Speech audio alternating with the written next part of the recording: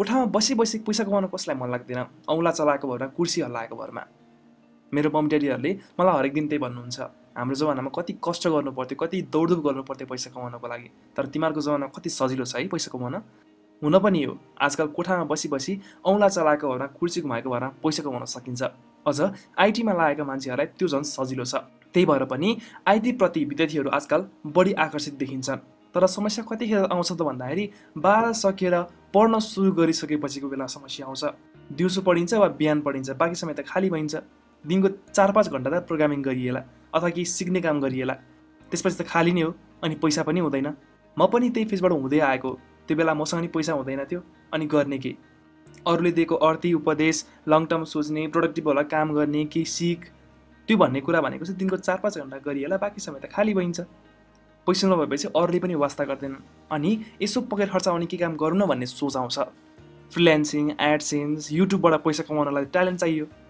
केही बोल्न सक्नु पऱ्यो अथवा केही लेख्न सक्नु पऱ्यो अथवा केही आउनु पऱ्यो कोडिङ सोडिङ केही आउनु पऱ्यो यदि ट्यालेन्ट छ भने त कसैको हेल्प नै चाहिँदैन।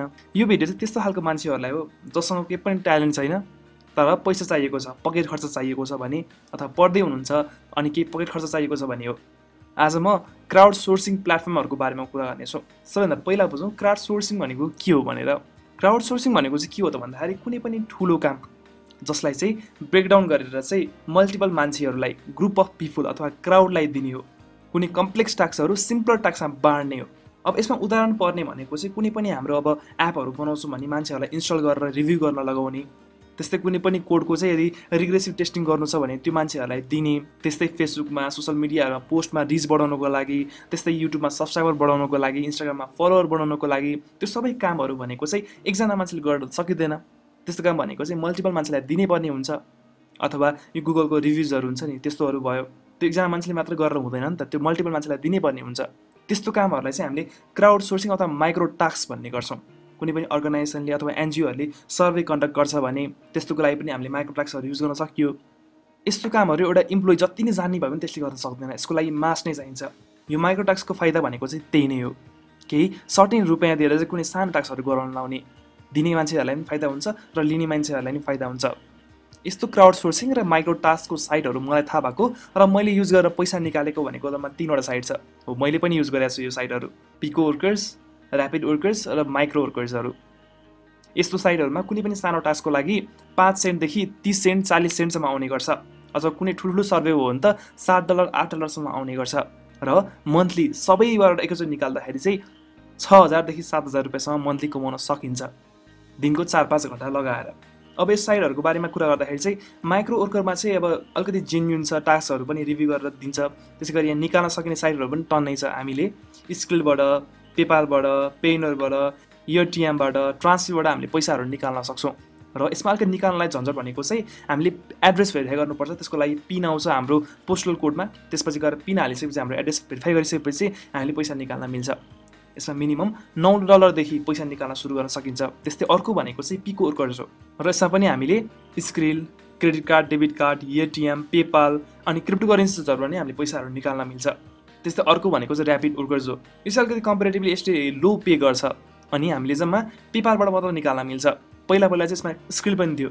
मैले त्यो बेला निकाल्दाखेरि स्किलबाटै निकालेको थिएँ। तर अहिले भने त्यसमा जम्मा पेपाल मात्रै छ। अब यस्तो कामहरूको फाइदा भनेको चाहिँ हामीले सानसानो काम गरेर आफूलाई पुग्ने पकेट खर्च निकाल्न सक्छौँ। त्यति मात्र हो यसको फाइदा भनेको चाहिँ।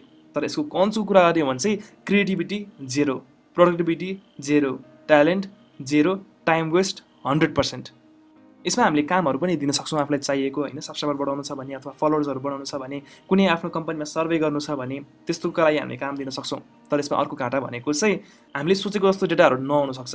यहाँ मल्टिपल मान्छेहरू मल्टिपल सोच हुनसक्छ तर हामीले सोचेको जस्तो क्लिन डेटाहरू नआउनु सक्छ। त्यो चाहिँ एउटा घाटा हुन्छ यसमा। कुनै अनि त्यसपछि अर्को भनेको चाहिँ कुनै पनि कम्पनीको कन्फिडेन्सियलिटी चाहिँ पुरै ध्वस्त हुन्छ।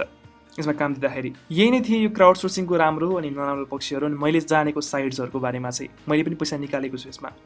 सो अन्त्यमा पनि म त्यही भन्छु यदि तपाईँहरूसँग केही ट्यालेन्ट छैन भने तपाईँहरूलाई पैसा मात्र चाहिएको हो भने चाहिँ ठिक छ। यो माइक्रोटाक्सन साइट्सहरू यो क्राउड सोर्सिङ साइट्सहरू युज गर्दा हुन्छ। तर तपाईँसँग केही ट्यालेन्ट छ भने त्यो ट्यालेन्टलाई रिफाइन गर्नुहोस्। अब केही पनि अल्टरनेटिभै भएन पैसै मात्र कमाउनु छ दिनको तिन चार घन्टा तपाईँहरूले दिन सक्नुहुन्छ भने चाहिँ यो साइट युज गर्दा हुन्छ। यसमा नराम्रो केही पनि छैन। तर अझै पनि ध्यान दिनुपर्ने कुरा चाहिँ के हो त भन्दाखेरि कुनै कुनै टास्कहरूमा चाहिँ टास्कको नाममा चाहिँ तपाईँहरू कन्फिडेन्सियल डेटाहरू मागिरहेको हुन्छ। होइन तपाईँको एड्रेस मागिरहेको हुन्छ तपाईँको फोन नम्बर्सहरू मागिरहेको हुन्छ। त्यस्तो टास्कहरू चाहिँ नगर्नुहोस्। अनि कुनै कुनै कुराहरूले चाहिँ इलिगल कामहरू पनि गराउँछ। प्रायः त्यो चाहिँ ऱ्यापिड वर्कर्समा हुन्छ। त्यसमा टास्कहरू त्यसरी फिल्टर गरिएको हुँदैन अनि जस्तो पनि कामहरू हुनसक्छ। त्यस्तो कामहरू चाहिँ सकेसम्म नगर्नु। अनि कुनै कुनै लिङ्कहरू चाहिँ फिसिङ लिङ्कहरू पनि हुन्छ त्यसमा। अनि त्यो पनि अलिकति होसियार हुनुपर्ने कुरा हुन्छ। सो यो भिडियोको रिक्वेस्ट चाहिँ हामीलाई प्रदीप श्रेष्ठजीले गर्नुभएको थियो। उहाँलाई क्वेसनको लागि थ्याङ्क यू तपाईँहरूलाई पनि के क्वेरी छ भने चाहिँ कमेन्ट सेक्सनमा लेख्न सक्नुहुनेछ। आजलाई भने यति। भिडियो इन्फर्मेटिभ लागेको छ भने भिडियोलाई लाइक र सेयर गर्न सक्नुहुनेछ र यस्तै कन्टेन्ट भविष्य हेर्न चाहनुहुन्छ भने चाहिँ please subscribe the channel thank you